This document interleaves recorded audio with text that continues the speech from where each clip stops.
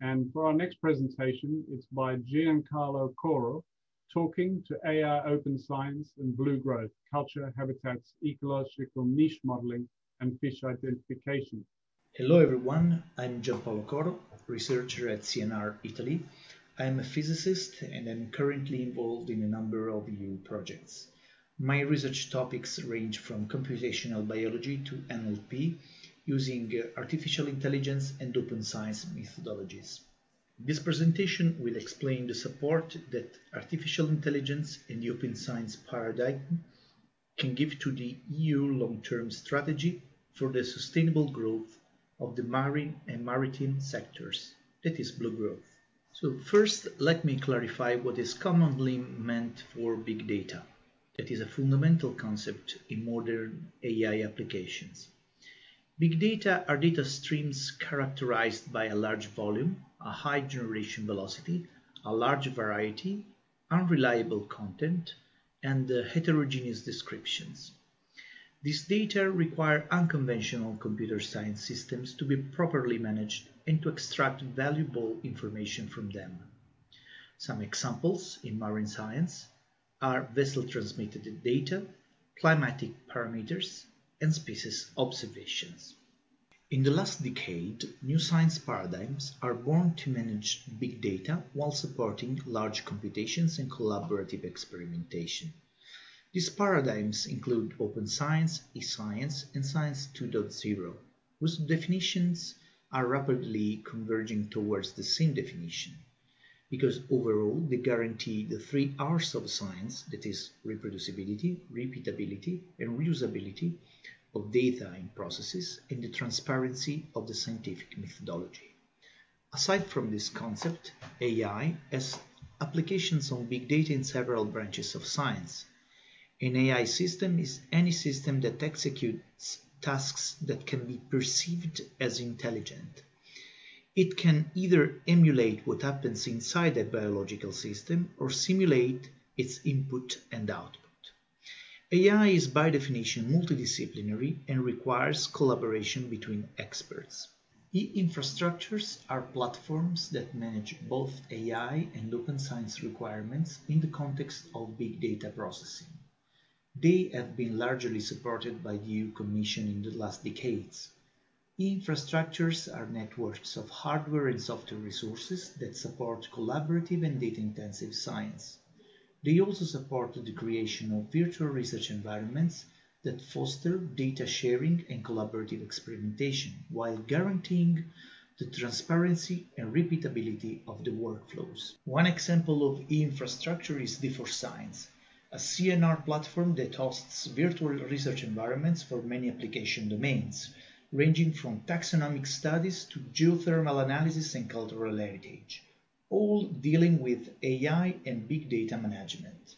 All this technology is supporting the blue growth strategy through the generation of new knowledge from big data, the reusability of data and methodologies across domains, the transparency of the workflows because it is possible to verify and repeat experiments, and the overall guarantee of longevity to data and processes. In the next slides, I will rapidly show questions that have been answered through AI methodologies based on collaborative infrastructures that used open science approaches.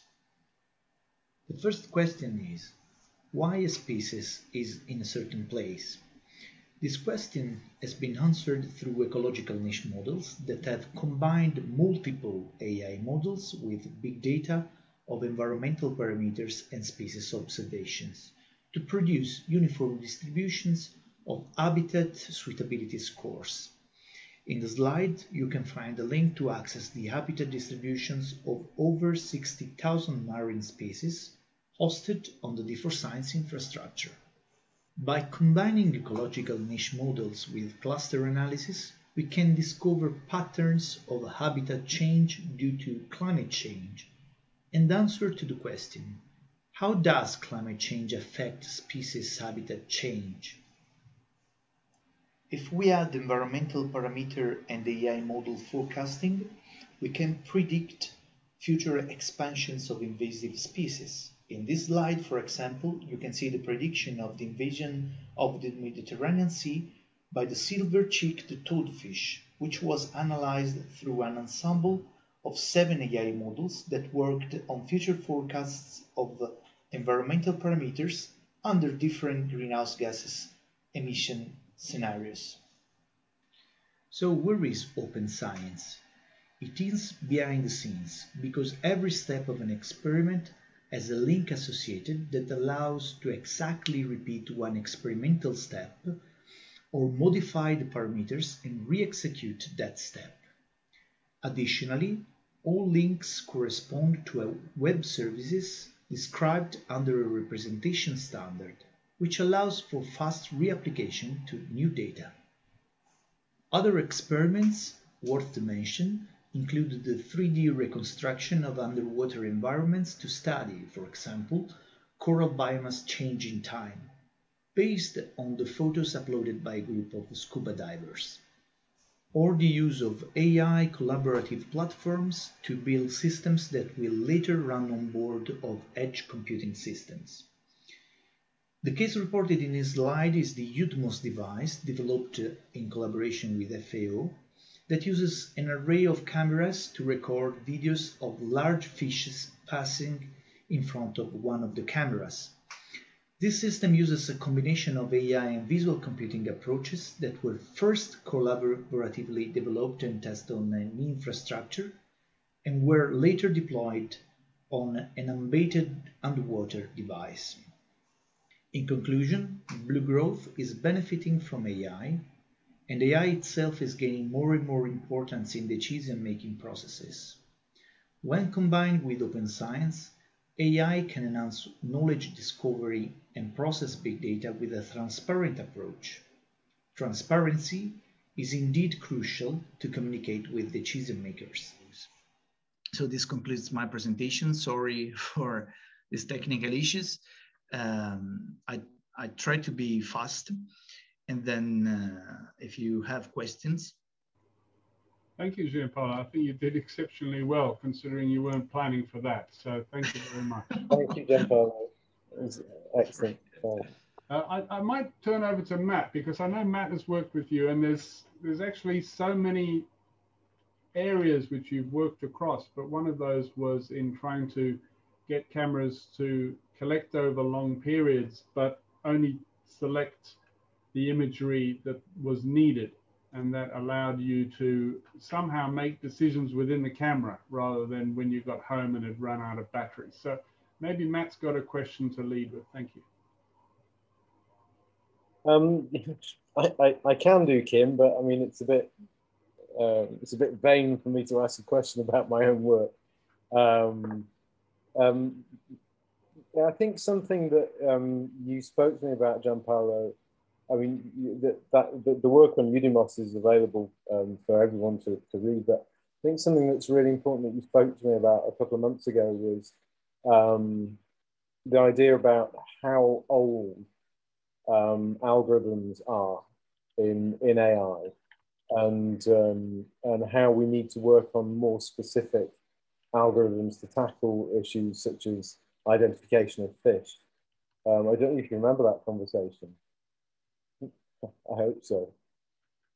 I found what you said very interesting about the age of the, some of the technology and the maths that we're using uh, currently. I found that extremely interesting.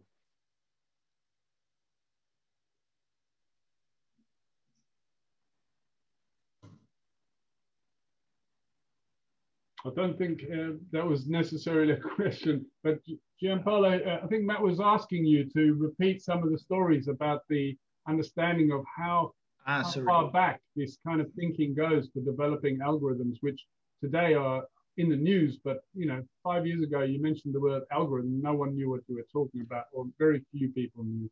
And uh. Matt was saying you had conversations and you've done some reading about the age of the mathematics which have built these types of systems. Maybe you could share some of those stories. yes, well, it's a complex uh, question to answer uh, because uh, yes, we, we are uh, now we are now at the edge of technology uh, for some applications like the one of uh, unbaited remote devices because uh, originally uh, we wanted to, to produce and to, to make a scalable solution also in, term, in terms of costs because yeah, yes, it is always possible to, to, to throw a big computer uh, underwater, but uh, then you have to care about uh, batteries, the number of, uh, of devices that you want to, to, to buy or uh, to propose, uh, and also the, the, the computational capacity of the device that you, that you are working on. So we are currently at the edge of this type of technology. And, and so, well, from one month to the other, every, everything can change. Also, the, the, the, kind of models that are um, currently produced uh, in the AI research uh, is not really parallel to uh, hardware and also costs um, requests. So I don't, I don't know if I was clear with uh, with this um, with this explanation on, on the issues, but there are not only um, AI problems, but the fact that uh, if you want to really uh, downscale to practical uh, difficulties and also to low costs, uh, you you have to find other ways. And one way is to open up the black box of the AI models and to uh, modify something inside. Uh, so to to try to, and this can be done by uh, taking inspiration from uh, uh, what happens in some biological systems. So uh, in doing this scaling now, let me say that we're going uh, backwards in some way from AI to cybernetics, uh, where uh, you had to emulate in some parts, some parts of a biological system to find uh, efficient solutions and ways to solve the problems. And uh, to do this, it is absolutely crucial to, uh, to work within um, multi, um, multi-competence, let's say multidisciplinary context. So to have collaborative tools that support uh, conversation between a biologist and a physicist and mathematical um, mathematician and uh, uh, other people that may come with uh, solutions from uh, also even unexpected domains. So I hope I was, this strange explanation of mine was uh, was clear for you. Uh, yeah, no, it was exactly what I was referring to, Jean Paolo. I think that um, this sort of scenario, um, and I didn't realize we were doing it, kind of unpicks AI back to cybernetics, doesn't it? Like you, like you said. And uh, I think sometimes it's to try and uh, break beyond outside the box, like you're saying, you need to be reflective and multidisciplinary and, uh, and to produce something that that, that um, is, is capable of doing something cutting edge and, and that sort of collaboration and collaborative thinking assists that process, doesn't it? Which really echoes what um, the, the objectives of the whole forum are about, really, uh, bringing people together and, and trying yeah. to help everybody and everything. Yes within a Yeah. These are yes, these are not problems that uh, uh, one group of people having the same expertise can solve or one person can solve.